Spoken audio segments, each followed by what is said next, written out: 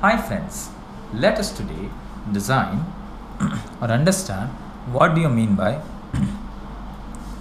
FIR filter design using frequency sampling method. So we'll be using uh, a method called frequency sampling method to design an FIR filter. Now how to go about this method? So first of all we will get hd of e raised to j omega from the user then we have to process this and the, the and, and obtained h of k. Let us say hd of k. Now how to come from hd of e raised to j omega to h of k is by frequency sampling. Okay so when i am saying that i am wanted to go from h hd of e raised to j omega to h of hd of k the time the process that i'm applying is called as the frequency sampling so frequency sampling in frequency sampling will be dividing omega or sampling omega at 2 pi k by n instances so we'll be dividing the omega into 2 pi k by n instances or samples. After sampling we get hd of k.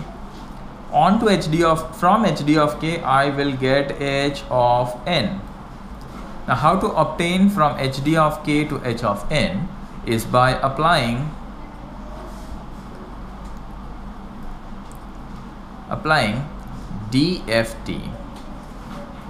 Now what is the formula for DFT?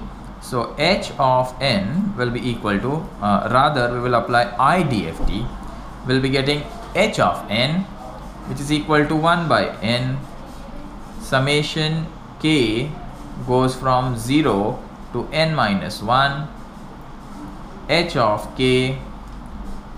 Uh, instead of writing in terms of e I will write in terms of twiddle factor which is w n raised to minus nk this is the DFT formula where capital sorry small n is ranging from 0 to n minus 1 so small n will take the values from 0 to n minus 1 okay. So this is the methodology that I will follow. What I will get from user? I will get from user hd of e raised to j omega onto which I apply frequency sampling. What do I mean by frequency sampling? Is dividing omega into 2 pi k by n samples. Then I will obtain hd of k I apply IDFT on hd of k and I get h of n. H of n will have a total number of n samples. Okay? So I will get a finite h of n because h of n will be having now how many samples? N total samples. So an n will be always a finite number. That's why h of n will be a finite impulse response filter let us see uh, step by step how to go from this point to this point using this method. There are basically two types in a frequency sampling method.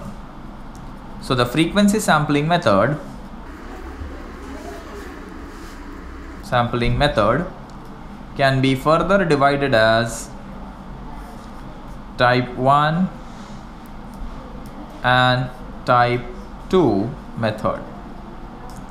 We'll be focusing more on type 1 method. Now what is the basic difference between type 1 and type 2 is in type 1 we will include omega is equal to 0 in the design whereas in type 2 we will exclude omega equals to 0. So we will never get omega is equal to 0 value in type 2 methods whereas in type 1 method we will also include omega is equal to 0. That's why we will always prefer to go with type 1 method. And I will always prefer using type 1 design. Now in type 1 the design procedure is very simple. Let us go with type 1 in type 1 I will sample my omega as 2 pi k by n and k here will take the value as 0 1 and so on to n minus 1 okay. Now what is this n? This n is the order of filter. n is the order of filter. So if I say that I have to I wanted to design a seventh order filter then it will be 2 pi k by 7 and k can vary from 0 to 6 so the total sample comes as 7 that is a step 1 so that is my sampling of omega. Now I substitute this omega into h of e raised to j omega to get hd of e raised to j omega. So I get as uh, h of k or we rather say hd of k is equal to hd of e raised to j omega when omega equals to 2 pi k by n. So what I'm doing? I'm sampling the omega in hd of e raised to j omega to obtain my h of hd of k. Therefore, after applying IDFT, after applying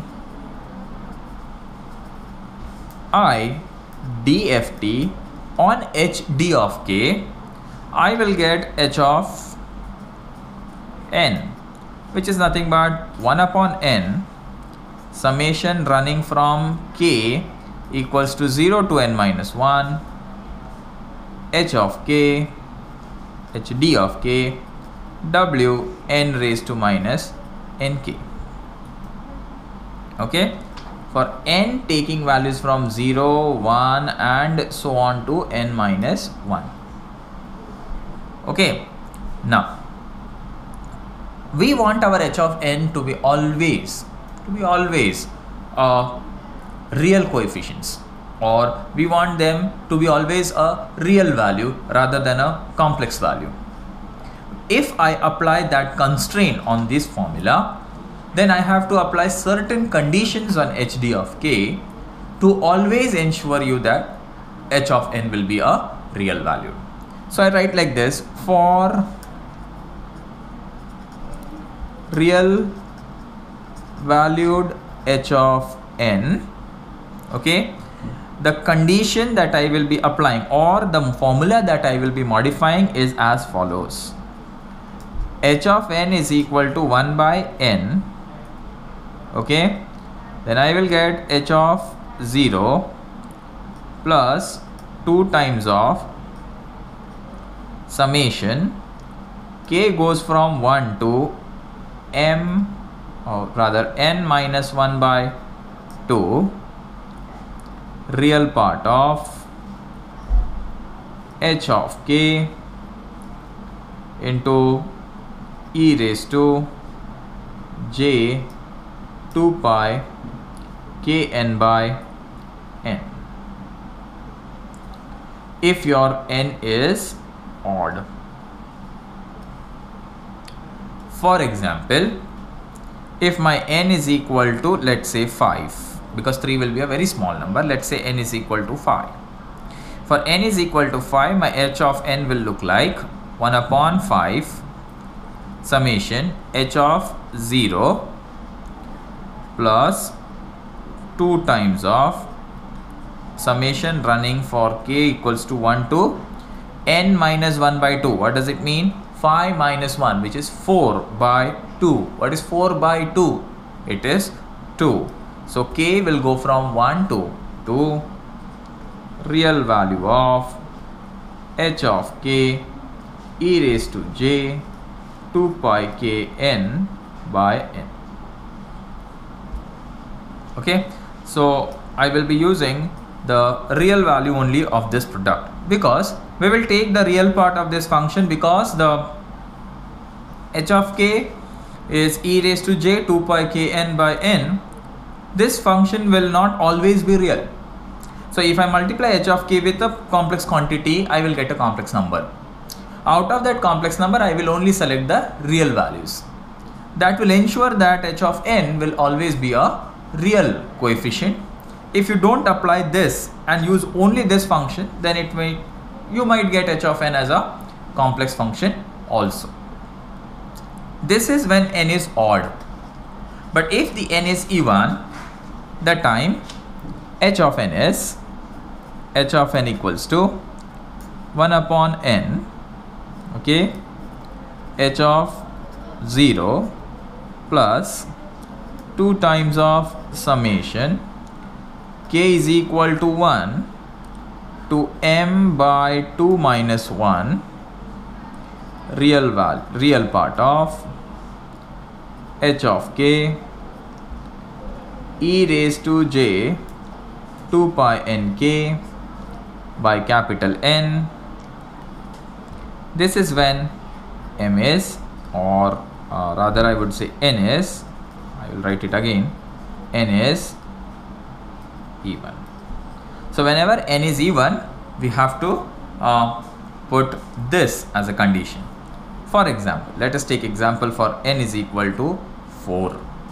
For n is equal to 4, my h of n will look like h of n equals to 1 by 4 summation h of 0 plus 2 times of summation going from k equals to 1 to m by 2 minus 1. Now if I put uh, n is equal to 4, so this is n. n if I put n by 2 which is nothing but 4 by 2 which is 2. 2 minus 1 is 1. So I, my summation will be running from 1 to 1 real part of h of k e raised to j 2 pi nk by 4.